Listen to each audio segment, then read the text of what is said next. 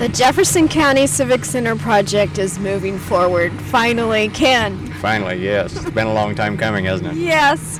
So I'm Suzan Kessel and Ken Norton. Ken is vice president and I'm president of the Civic Center board. Um, you've been in charge of the demolition since this started at maybe a year ago? Uh, yeah, about this time a year ago. Yeah, I guess is when we really first started looking at the you know, what we were going to salvage and everything out of the houses.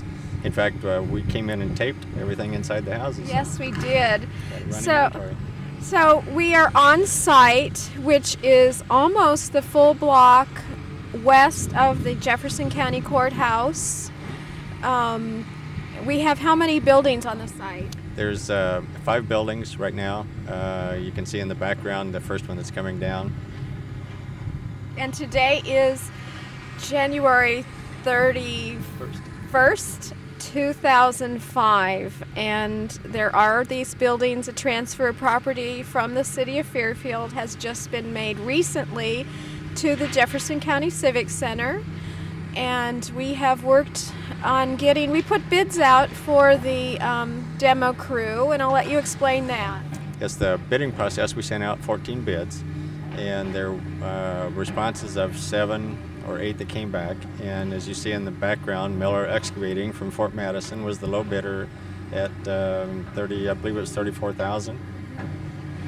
Our uh, next uh, lowest bidder, uh, and as you remember, we had always talked about trying to keep everything yes. local. Our next lowest bidder was, uh, I think, 62,000.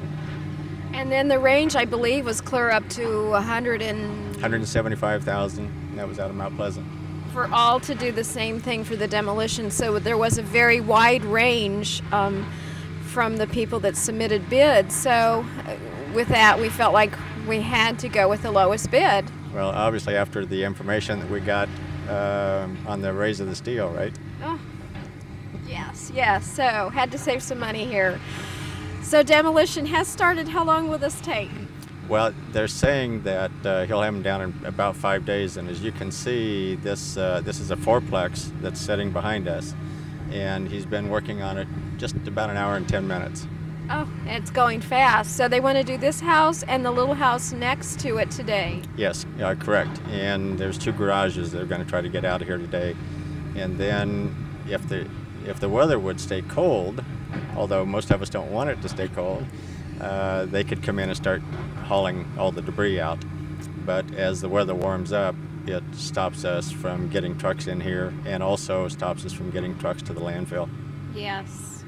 And I should mention that um, I know we all have memories of things that have happened in this area of town. If you've lived here a while, the hotel is located here, and maybe we'll do a story about that with Mark Schaefer in the future. But the little house behind us, it's had the removal of the outside. My dad told me the other day that he. Um, his grandmother lived there and he used to ride his horse into town and stay there in the winter and, and use coal for the heat and so it touches all of us. Days gone by. Yes, progress all the time progress.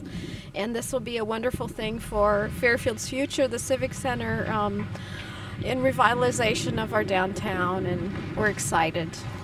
It's it was really a nice project, and as you well know, it's been what eight or nine years, I guess, when we first started this project.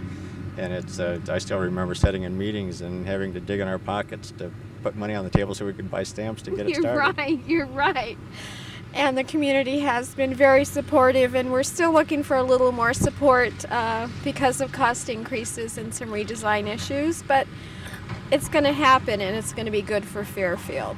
It sure will. Um, hopefully it's going to do everything that it's supposed to do bring uh, obviously the revitalization for downtown will hopefully will encourage the merchants to to get on board and start doing some things some projects on their own Plus, we hope to bring more people to town. Uh, we'll hopefully we'll provide jobs for people. Uh, it's kind of an ongoing economic development growth for everybody in the community. Yes. Um, back to the demolition. Um, before the demolition, like we said, we toured and went inside of all the houses and buildings and tried to identify things that could be salvaged. What are some of the things that were salvaged asked for? Unusual things asked for. oh, everything from the uh, the Corbels from the, the mm-hmm. top of the house over here to uh, claw feet bathtubs to uh, furnaces and air conditioners. Um, uh, we've salvaged just about everything we can Copper take. wiring. Oh, they're stripping wiring out of the houses as we speak. Uh, hand railings, uh, uh oak trim, uh, solid oak doors, uh, signs. I mean, it just goes on and on and on. There's a long list of things that came out of here. We've really been fortunate to have nice people to come in and help us get stuff out of here. And, and you know, rather than just throw it away, we could yeah. put a few dollars towards the Civic Center, so it helps. Yes. And also, something that did slow us down was. Um, testing that needed to be done and we debated on a, as a board you know how do we go about this? Uh, we ended up doing exactly what we're supposed to do. Absolutely. Um, we did do the testing uh, and obviously the testing was for asbestos and there was uh, one home i think it was the one that you just referred to that had asbestos siding on it and they used to do that years ago and as long as it's compressed it's okay but once you start grinding it and it floats in the air that's when the danger comes. But rather than take a chance we hired James Bettinger. Uh, he is licensed and certified with the DNR, and he came in and removed all the siding. In fact, he's doing just a little bit of cleanup right now. Uh, reason being is that DNR came in and uh, on a, a, second inspection, they did find some in the window caulking, and so we had to shut everything down again and, and wait some more. And they're taking the, the caulking out of the windows today, and then we're ready to finish the demo. Hopefully by uh, this time next week we should have everything down. Wow, exciting. So we've tried to do everything right, and that that means all the permits and and certificates and everything that goes along with demolition that I didn't know about, didn't really want to know about, but Ken, thank you so much for working and being in charge of this. Oh, it was a real pleasure. Uh, one pleasure? of the things, oh, of course, working with you, not the demo. It's been a nightmare. Uh, one thing too that I think the community probably should be aware of, and excuse my phone for ringing in the background. Um, uh, Alliant Energy is also involved in the project, and they've been here and, and capped off gas. But we did get uh, uh, surprised, I guess, here the other day when they are going to charge us 80, $83,000 roughly to uh, move the lines about a block. So just something else that, you know, it's one of those things that every time you turn a corner, it's like building a house when you build the basement and put another corner, it adds more, more to the cost. So that's one of those things that happens to this too. And, uh, but we'll be watching that very carefully all the way through the process, and they're going to work with us too to make sure, you know, if there's any way that we can save some of that money, we're not going to try to spend all of it. But that's the estimated cost on it right now. Okay. Also, I know there's a lot of concern about parking, and I guess I would have to say if I were a business owner close by, I would be concerned about parking also. But I want everyone to know that we're going to do everything possible to, and the city too. I know Ed Malloy, Malloy is very supportive of the project and the council and doing whatever we can to keep up with the parking issues in our community. Um, you were saying that this lot was supposed to be fully blocked off. Uh, originally, the plans call for it to be uh, totally blocked, but rather than to do that from the very get-go, we decided that we would only do half of it for right now. But eventually, we're going to have to go ahead and, and take all of it because uh, what you alluded to a little bit ago was the uh, fact that the Turner Hotel used to sit right here. And if anybody can still remember that, that when that burned, my best guess is that all the brick from that is piled in the old basement. So once we remove the parking lot, we're going to have to dig all that stuff out. And as you and I were talking a little bit ago, we'll see if we can salvage some of the parking lot that we're standing on right here and maybe just tear that down. So we'll try to provide some spaces. Um, you know, we want to we want to work with the community and get this thing built, and we don't want to take up any more parking than we have to. And I know it's going to be an issue, but Right, and I did like Ed Malloy's suggestion that he mentioned at the city council meeting was that when the Civic Center is built and up and going, there will be a hundred plus uh, parking spaces on site here that will be used by community also.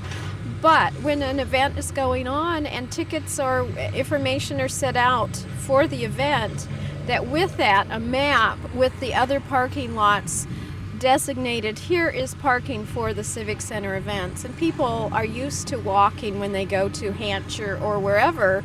And um, so a block or two is not that bad to walk. We're just kind of spoiled, me, myself, and I included. Yes, uh, yeah, we'd always, everybody wants to park right by the front door. Yes. And that's, that's not going to be the case, but like where we're standing right now will be the parking lot for the, the Civic Center when it's completed. And I, I don't know how many spaces there are in here. I would guess it's probably about 30 or 35 where we're standing. Right, right. I think there are 88 total here now, and there will be um, at least 100.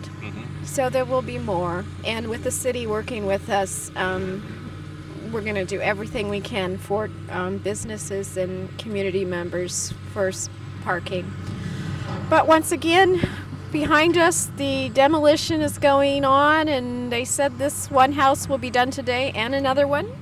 Um, and the one right directly behind us, the one that uh, had the asbestos on it, that's now completed. And they're going to take that down. The tree that's right directly behind us, and uh, there's a garage here and uh, one other garage. We're going to try to get all those done today. So we'll only leave uh, three properties basically to take out of here. And that's all just in one day. So it did take a long time to get to this point, but it's going to go quickly. And we want to thank our community for the support you've given us for this project, the Jefferson County Civic Center. Um, we want it to be all about community for you. We sure do. And we, like Suzan said, uh, you know, we can't say enough the support that we've gotten from the community, and we can always use more, right? Yes. Thank you, Ken. Thank you, Suzan.